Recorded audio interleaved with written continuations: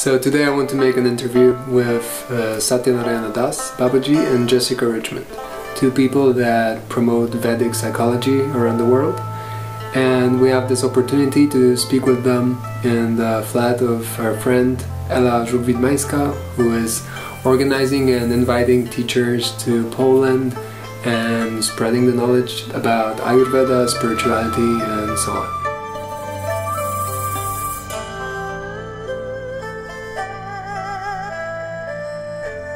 What is this uh, thing that you teach? What is it uh, about when you go and do the the courses around? What we teach is about the human mind, and human mind is one of the most important component in the human body Hmm. because our whole life functions according to the state of our mind. What we do that depends on our thoughts and thoughts arise in the mind. When we say that somebody has a good character or somebody has a bad character or somebody is a nice person, gentle person, that statement is actually about the mind of that person. It's not the external physical appearance, but about what is the state of that person's mind. So we teach about the functions of the mind and what influences the mind and how we can control the mind to bring out a better behavior for a particular person. And then when you teach about that theory, what are the practical aspects of the teachings that you do? Practical aspects are that uh, we uh, give certain exercises which uh, Jessica has developed because she is a psychotherapist, trained psychotherapist, and she has been working with this Vedic psychology. So she has developed certain exercises which she can maybe explain more about it. So we teach people about four parts of their mind the ego, the unconscious mind, the semi conscious mind, and their intelligence, and kind of how they function. And then we actually highlight each part of the mind by using these like interactive exercises where you'll either get with one partner and see like your ego showing up, um, or you'll do group exercises, and then we kind of debrief after the exercise because oftentimes when you're at a workshop and you're learning about something like your ego, you can understand the theory very well, and you're like, oh, I've got this. I, I'm never like that person. I never do that. But you actually do, and that's the whole idea of, of the practical exercises is to bring out your own stuff that you think you don't do or you don't have. And so- then during the courses, was your experience with this? People really showed up? people it, the ego exercise in particular is very intense and so at first we used to warm people up to it and sometimes we do it at the beginning and that's very it depends on how the group is and if they're ready for it but with certain crowds we start right out of the gates with that certain other crowds we warm up to it but it's very intense to actually see your own ego. And then when it happens still you don't realize it's your ego. You still think it's the other person. Like you triggered me. This exercise sucks. Vedic psychology sucks. But really it's your ego reacting to getting to getting some feedback that doesn't fit the concept of who the ego thinks he or she is. Why do you think it's so difficult? Well, because everybody has a concept about oneself, and everybody thinks that I'm a nice person. Nobody likes to see one's own faults. That is actually one of the basic characteristic of ego or I consciousness. So it it takes a lot of like guts to accept your own mistakes and your own flaws and defects and blemishes even when they are pointed out, even when you actually can know that really I have a problem, still it is very hard for the ego. Because ego is like the king in this body. ego is the master. And like a king owns and you know controls everything and doesn't like to see its own defects. If someone points a defect to the ego, to a king, then king is ready to you know hang you. So our ego functions like that. And this uh, year you've been traveling around and made some courses, no? How's the, the experience of it, the reception, and from course to course, how does it develop for you also when you do it? Yeah, we gave courses. Actually, we gave course here in Poland. We gave in France. We gave in America, in a big yoga center, Kripalu, and also in a hospital. So it has uh, improved over the time because this is the first time we did that, and it, it works very nice. People like it, they appreciate, and uh, they actually enjoy it. We got very good reports whenever we did the course, and we have been invited again to do it. So at the end, they managed to see this uh, ego point and made it positive. Yeah, So- by that time the course is over, they realize that actually what we did to them was good for them. It's like a bitter pill at the beginning. it's like you know you have boil on your body and doctor wants to operate on it, so you you feel the pain, but ultimately you know that it's good for you. And you mentioned this uh, hospital. So what is exactly that you did in the hospital beside the courses? So at the hospital, we're working on training a group of 15 psychotherapists on how to use Vedic psychology. So right now, it's just the two of us who are teaching people and anybody who's interested. But now we're actually going to, this is the first set of professionals that we'll train and how to actually use the techniques and we'll be taking data as well to learn, you know, so we can actually in, in six months from now have a report and say, okay, with th these 150 um, teenagers who they're trying it on, Hmm. what actually works and what doesn't. How, how did they improve or how didn't they? So they'll be not only will we, will we be training them and they'll be using it, but we'll be collecting data. So we'll have actual research on from a, a big hospital in the U.S. So the doctors from the classic medicine there, they're very interested in feeling like to, to apply it in Yes. their practice. yeah, Yeah, they are they, because they can when you explain the theory, it makes a lot of sense to them. And in fact, we demonstrate it to them. We ask them that okay, you bring some of your toughest case, which you have been struggling. So they brought the case, and uh, you know, she figured it out in ten minutes that this is the problem, and they were very surprised. because they they have been trying to find out what actually is the problem and she just heard the case and asked few questions and she immediately said okay this is where the problem lies and uh, they were actually agreeing yeah this could be the problem and they worked on that and the nice thing about Vedic psychology too is that often, you know, with Western psychology, the psychologist is like the doctor and they know everything. And I you're was the- just about to ask, Yeah, what's you're the difference yeah. between them? So it's like you're the patient who doesn't know anything. You're just sick, you know, and we're going to fix you because we know everything. Whereas with Vedic psychology, we're actually teaching you the parts of your mind and how to manage them. There's a lot of differences, but that's one nice one. So even now, I had already taught the therapist the model of the four parts of the mind and how these parts dynamic, dynamically interact. So they already saw that I had it drawn up on the board. So then when they gave me a difficult case, I just walked them through the model. And not only was it like that I got it quickly, they got it with me quickly. They're like, oh, of course of course the ego was doing that and then the mind was and of course the intelligence was sleeping and so it was very easy for them to see what i was saying and not feel like they're going to have to come to me every single time to get the answer so i was educating them as well which is a very powerful part of vedic psychology And how such a session look for you? That how is it different? Your Vedic psychology session from your psychotherapy session from before? So Vedic psychology, one part is education. So once I figure out what's going on with them, then I'll teach them, teach the client what's going on. And then the second part is that there's a spiritual component. So depending on the client, if they're open to that, we can teach them, you know, how to transcend their mind. So not only just here's the parts of your mind, but there's actually more to the story. And mm-hmm. Babaji's really good at talking about that. So what's that component that we heard about? well that component is the secret component. And that we have to first of course see whether the patient is interested in that or not because sometimes people they don't want to you know go into the deep waters so to say. So that part is that uh, in the west we think or the modern psychology thinks that mind is actually the source of consciousness but vedic psychology very clearly says that mind is matter it is inert. It's just like any other machine the part in the body you know like you have your heart or you even have your finger. You know. so mind is also a component like that but very subtle component. And the source of consciousness is what we call as purusha atma which is translated as soul. And that is a different type of energy it's uh, it's conscious by nature it is intrinsically intrinsically conscious mind is not conscious inherently it, the consciousness in the mind in the ego in the intellect all this, and even in the physical body, is actually borrowed from the soul. That's why it is possible to give anesthesia and make a particular part of your body unconscious. If the consciousness was the natural part, natural function of any part of your body, you could not make it unconscious by anesthesia.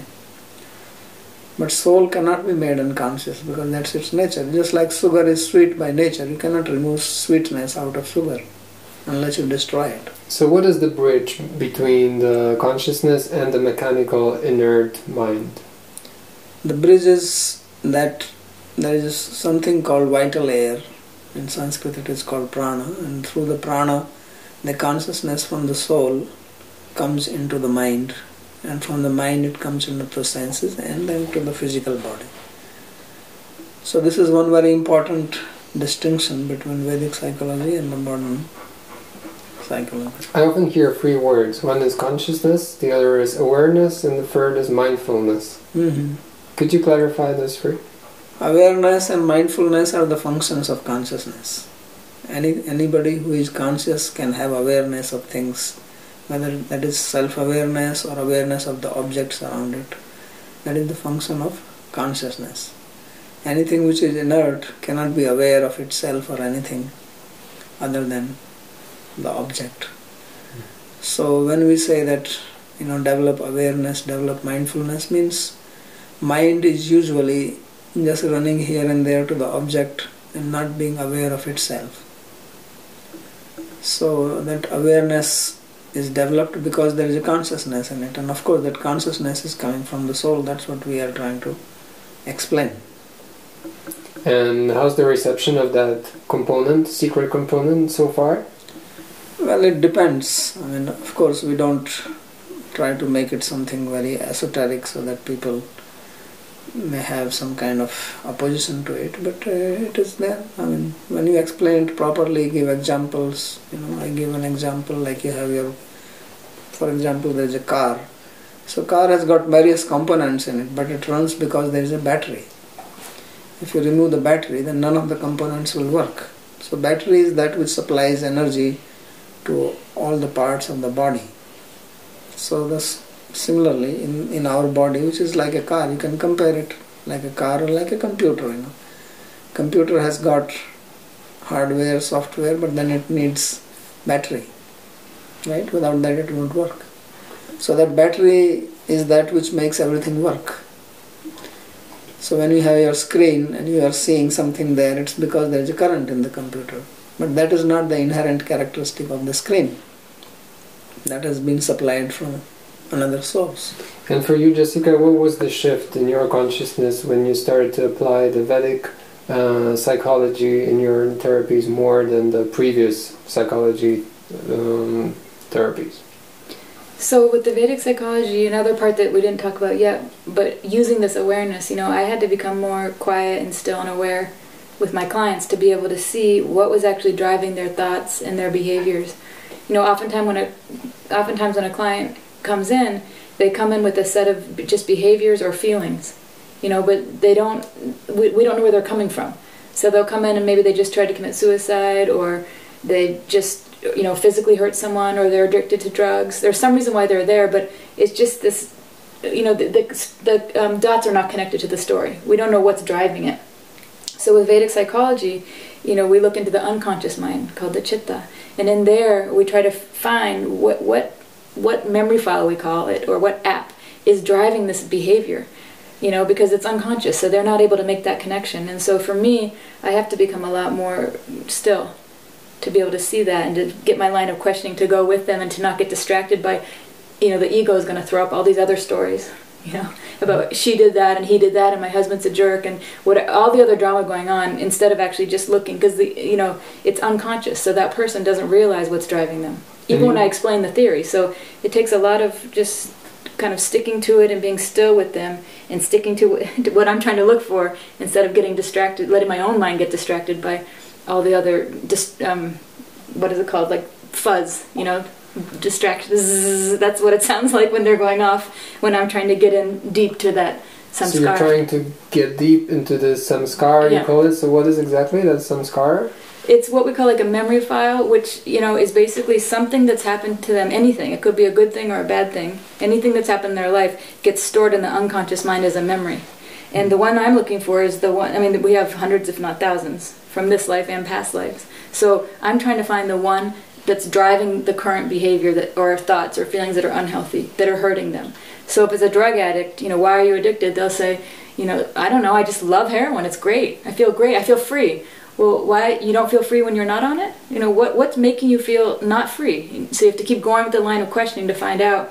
Oh, it turns out that my mom was very controlling, and kept me feeling stuck. You know, and so that memory file or samskara is um, actually attached to that memory are feelings that are unprocessed, undigested, and those feelings of feeling stuck or controlled or unworthy, depressed, all those feelings that happened when this person, this drug addict, was maybe 15 years old. Now he's 45, so 30 years later, those same feelings are actually driving his behaviors today. So we're calling that a samskar or a memory file. And so the idea is to get your finger on it, figure out what the file is, and then to bring it up into the consciousness, to the awareness, and process it. And where is the spiritual component playing the thing right now? In this? The awareness. With the awareness. Yeah, because it, they weren't aware of it and just got lo- it just got un- it's an undigested experience there driving them still. So bringing it up and becoming aware of it completely with the, the the feelings, processing the feelings and then every time it gets triggered because as life happens, anytime this person feels controlled or lack of freedom, that that memory file gets triggered. The, the mind will do a match and go, "Ooh, I've felt that before," and then re- you're reacting and reliving all those experiences um, of what happened when you were 15, not when you're 45. So the spiritual component is teaching him how to become mindful and aware of that, so he doesn't react. So he just goes, "Oh, there that is. That's that old thing. That's not me. That's not happening to me now. I'm I'm." You know, first of all, I'm not this body and I'm not this crazy mind reacting. You know, I'm the soul and I can just watch. And then does you as a, having a devotional lifestyle and say you see that this knowledge also works for somebody who's not exactly in this path full-heartedly but also for people who live a normal mundane life? No there is no such thing as mundane life or not mundane life. Everybody has life everybody has consciousness everybody is a spiritual being. Okay? So you cannot deny that. You may agree to it or you may not agree, but truth does not change because of your agreement or not agreement. Fact is that you are a spiritual being, you are a conscious person, and you have a material body. So, this knowledge can be applied anywhere to anybody if you are willing to do that. It's not that you have to change some dress or you have to you know live in a particular ashram or something like that. If you understand this, then you can practice it anywhere. So the important thing is this identity. Important thing is proper understanding of your yourself and then acting on that understanding. So the root cause of problem actually is ignorance. That's what we say that the root cause of every problem is ignorance. Even when you say unconscious mind, the very word unconscious means I'm ignorant of it. Right? Conscious means being aware, knowing, mindful.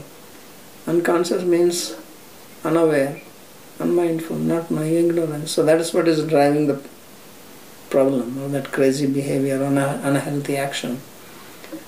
So we try to educate people along with it. This is one very important component of Vedic psychology that it's not that you just tell them to do certain things, but actually you make them aware of their, their own problems and what is the solution. So the education is the important part of it. And now talking about education and also about your personal journey through that Vedic psychology, uh, there's a book of yours on Vedic psychology that's about to come out. Can you first tell how did you meet at the beginning? What was the experience of first meeting, and what drive you to, at the end, also write a book together and work together? Well, she came in contact with my brother, Dr. Pratap Chauhan, and through him, she got introduced to me. She heard my lectures over the YouTube, and that was very fascinating for her. So then she came to see me in Vrindavan, and then uh, we discussed, and you know, gradually she started learning Vedic psychology from me. And I had this idea for a long time, but I, I had never put into practice because I'm not a psychotherapist. I know I'm not professional in this field. My field is different. But I had developed the theory myself over the period of time studying the Vedic scriptures and I wanted that this should be utilized. So when she came and she said she's a psychotherapist, she works in a hospital, then we said, oh, this is good. And in fact, uh, it came through the book Hitopdesh, which it seems you gave it to her. I showed him what you wrote to me. So she started reading this, and then she said, well, why not use these stories to educate these kids and, you know, solve their problem. So then I started helping her, and that's how it gradually developed. Hmm. So then she, in the summer, she came and lived in Vrindavan with me, and uh, I had written a lot of things about this. I mean, not really as a book, but I had many ideas which I had gathered, and we said we should make a book out of it, which was also my desire. So she is helping with that. Do you plan to also, one thing is book education, the other is doing courses, but now we know people have uh, special relationships with their mobile devices and electronic kits. And a lot of people just learn vast uh, body of knowledge through through internet. So, do you have any plan in giving uh, unpaid or paid courses that are dedicated to Vedic psychology? Yeah, we have plan for that. That there will be courses through that, and as you mentioned, internet is actually also giving consultancy through Skype. Besides, you know, where she works, she deals with the patients. But if people want to have personal consultancy, then they can also have through the Skype. But we also have website where we post questions, answers. People write, and we reply to them. But ultimately, yes, we would like to have some course through the media, internet. So where, where can we right now follow your content? That is there any blog or something that uh, that we can know to subscribe? The question answer. Yeah, you can follow at uh, www.jiva.org slash psychology. Oh, that's great. So uh, just to clarify, the Vedic psychology, the term itself, and uh, the technique or the study of it, it's the term is developed by you. Yeah, this is I coined this term um, because there's no specific book of Vedic psychology. I mean, we have scriptures, we have Vedas, we have Upanishads, we have Puranas, we have Itihasa, Mahabharata, Ramayana, all this, Bhagavad Gita. So these are books, and then we have darshanas, you know, like Sankhya, Nyaya, Yoga Sutras. So in all these books, there is a lot of talk about mind and how it functions, but not in a very, you know, what you can say, in a very Okay. organized manner Yeah. that it's just one place they talk about mind, but according to the need, then there is something spoken about mind, something sometimes something said about ego. So I have actually gathered all that together and like put put the pieces together, so to say, Mm, and that's great. then devise this. Feels very inspiring what what you do, and that the reception is good. So I wish you more good reception. Thank you. And thank you for the interview. Thank you. Haribol. Jai Sri Radha.